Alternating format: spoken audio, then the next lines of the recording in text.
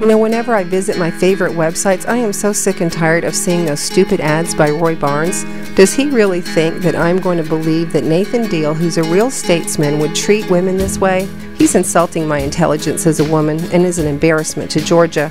I want everyone to know the real Nathan Deal.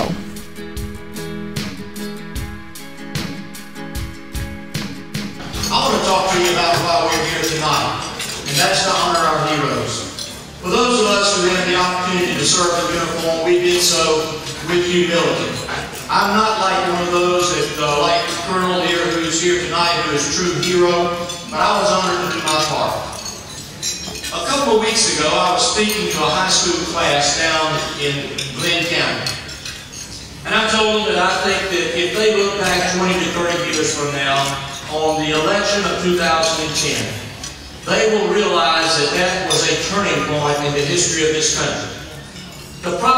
Have is that we live in historic times, but we don't fully understand the magnitude of it.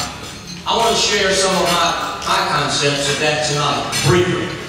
First of all, one of the things that happens to our country and has happened to many others is we forget our heritage. We have forgotten our heritage.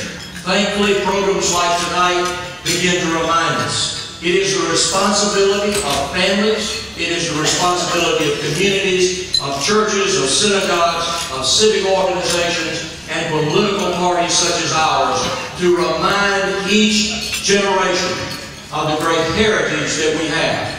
But when we start remembering our heritage, we recognize the things that we have allowed to slip away during the decades that have gone by. I believe this year the American public has awakened to the fact that our founding fathers really did know what they were talking about. They understood they understood the dangers of centralized power. And when they wrote that our federal government, which they were reluctant to create, you remember it wasn't their first experiment. The Articles of Confederation was their first time, and they were reluctantly giving up power to a central federal government. And when they did, they wanted to make sure they did so with some enumerations of powers and statements that you will not exceed these enumerations. Folks, if you haven't noticed, we have gone far beyond those enumerated powers. We have allowed the federal government to either take, bargain, or simply induce us to give away the powers that were supposed to be reserved to the states and reserved to the people. I believe that this is a time when we need strong governors all across our country.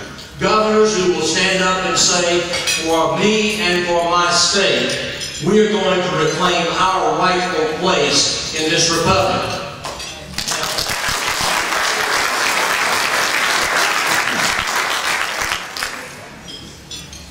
Need your help in this election, and I ask for it very briefly tonight. I need you to work. I need you to contact your friends. This is an election that is too important for us to not be successful in. But I want to tell you this. It is important when we do win the governorship and keep the General Assembly, which we will, that we understand that as a state we have some responsibilities to these heroes that we're talking about here tonight. Let me just briefly remind you of a great opportunity that our state is going to have. Over at Fort Gordon, which is where I was stationed for most of my time in the United States Army, we're having the Wounded Warrior Program that is going to be incorporated into that facility.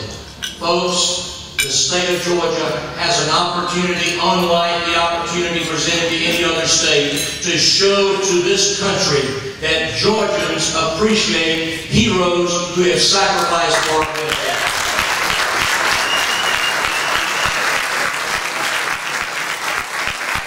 As governor of this state, I will make it a priority that every community in this state understands that they can be a part of taking care of these heroes, their families, and the needs that they have. Georgians are great people with great hearts. All it takes is somebody with the initiative to encourage them to say, this is your chance to say, we will stand up for those who have stood up for ourselves. I look forward to leading that effort in the governor's office. Thank you.